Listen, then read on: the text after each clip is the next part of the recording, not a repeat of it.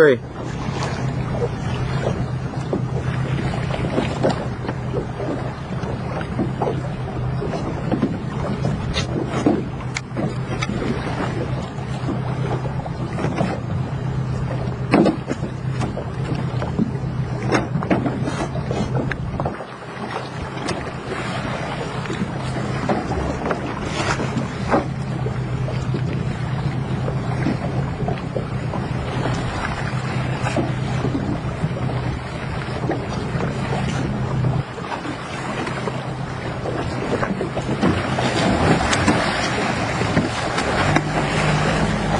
Release your weight.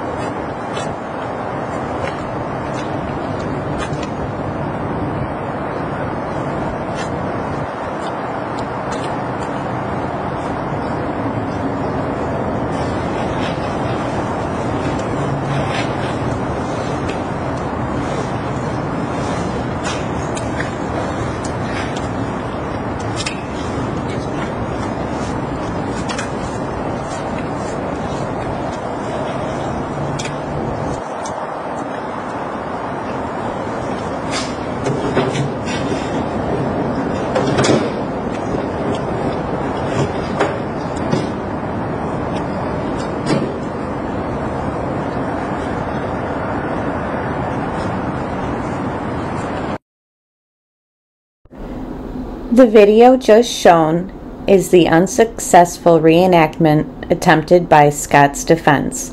The judge did not allow the jury to see it. The police doubted that someone would be able to dump a body out of Scott's boat. They theorized that Scott might have tied the boat to a buoy to stabilize it. They focused their searches underneath buoys and collected paint from a red buoy to see if it matched some of the red paint on the side of Scott's boat. Nothing was found in their extensive searches, and the paint did not match. An engineer from the boat manufacturer testified that for Scott to dump a body out of this boat, there would have been close to 385 pounds at the edge of the boat. Scott weighed around 200 pounds.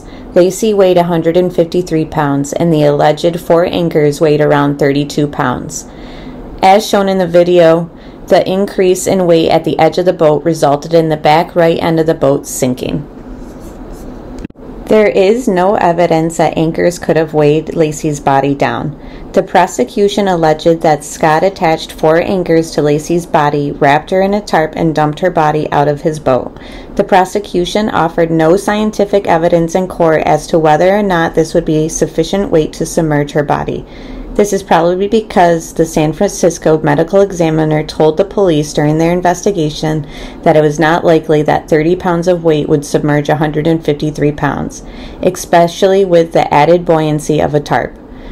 Not a single dog used in the case, a tracking dog or a cadaver dog, alerted to Laci's scent being in the boat.